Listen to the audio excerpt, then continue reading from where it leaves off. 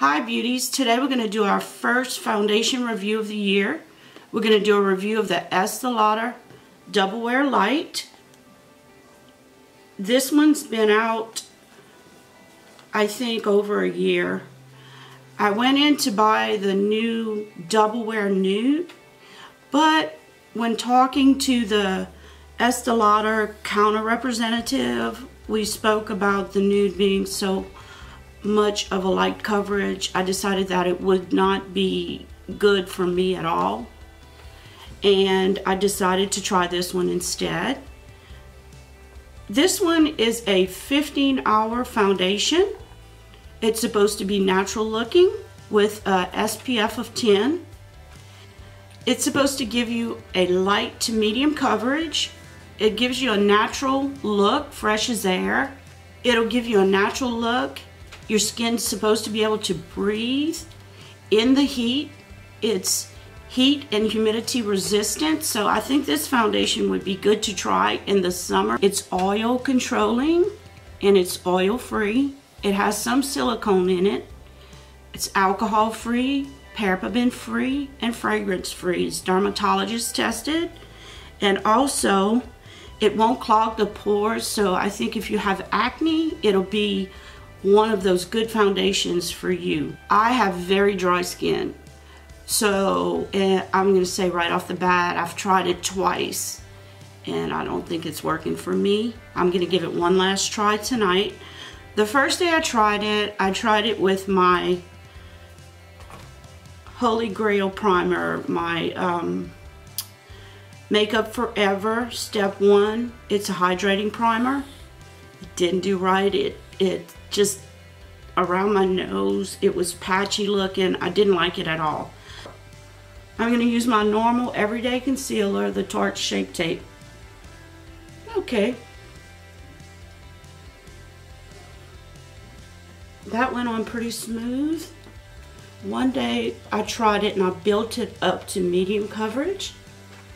Maybe when I did that is when it got kind of cakey on me. But just looking at it here, it really looks nice. And you know, um, I think if you work out, this would be a good foundation to use when you work out.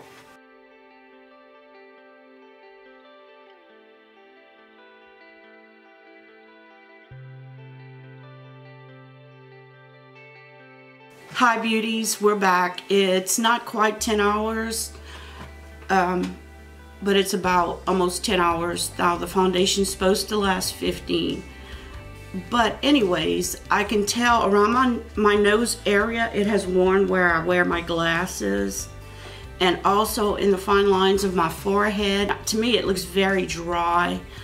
Um, but it's not bad. This time I really moisturized before I put the foundation on knowing that it's not really for dry skin types.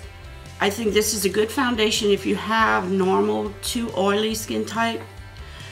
I think I could wear it like if I did work out. I will give it another go during the summertime here.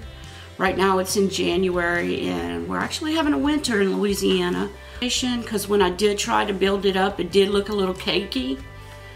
But overall, it, it won't be a new foundation for me. Like I said, I may try it if I work out or go walking and the need to put on a little bit makeup. Holy Grail is still the Giorgio Armani Luminous Silk Foundation. But I will keep trying different ones out. Um, you never know, you might find that new one that's best for you.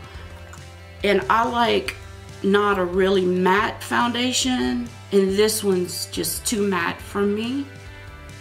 I will keep this one just to try again in the summer and if I work, work out but I won't be wearing this and I won't be replacing my current foundation that I wear.